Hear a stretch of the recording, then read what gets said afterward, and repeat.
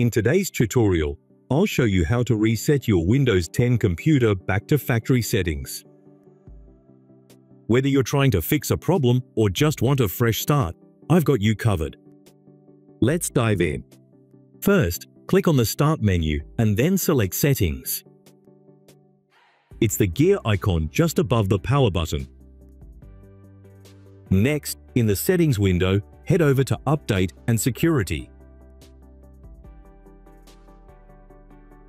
On the left-hand side, click on Recovery.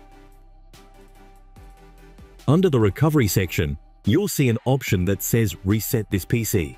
This is what we need to restore Windows 10 to default settings. Click Get Started.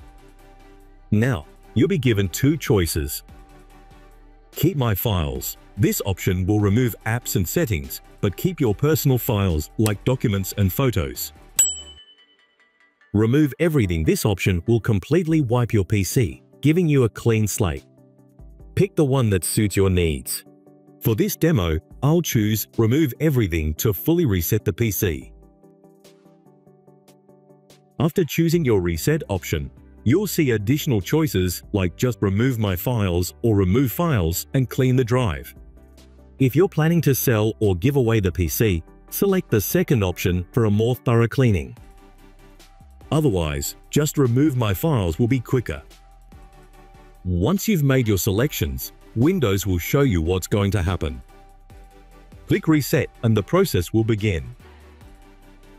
It can take anywhere from 30 minutes to a few hours depending on your system, so be patient.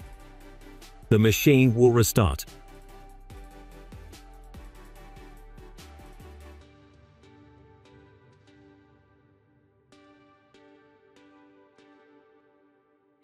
Here select your region and click Yes.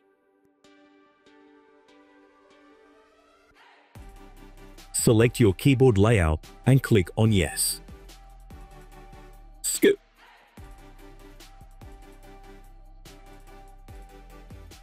Click on I don't have internet option. Click on Continue with limited setup. Click on Accept. Enter your name and password. And that's it. Your Windows 10 PC will now be reset to its default settings. If this tutorial helped you, don't forget to hit the like button, subscribe for more tech tips, and comment below if you have any questions. Thanks for watching, and I'll see you in the next video.